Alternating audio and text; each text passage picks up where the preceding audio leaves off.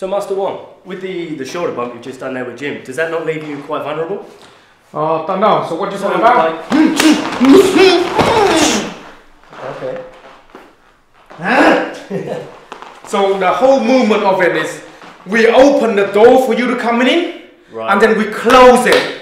So soon you attack coming in here, I go like that. That's when I close it. Oh, Yeah, this you get below me. We, right. yeah, below. So that's where all this move, the line of the Tai Chi form to helping you uh, on the line, that, on the movement of it. So low, track the line of it. Yeah, that's where they always like that. Okay. Yeah, so, so quite low central gravity. Yeah, yeah, because obviously you're, you're way. That's it. Yeah. So if you try to do the line, yeah, and I go try to go like that. See?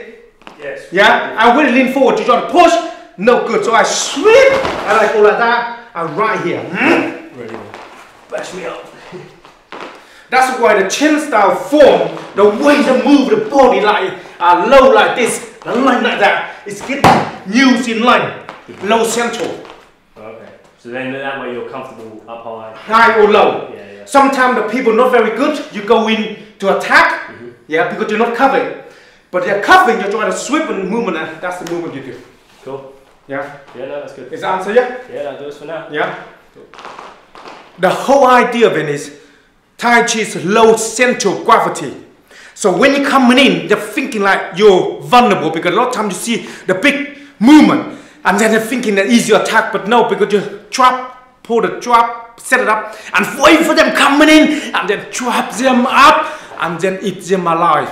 Is the answer to the question, Fear?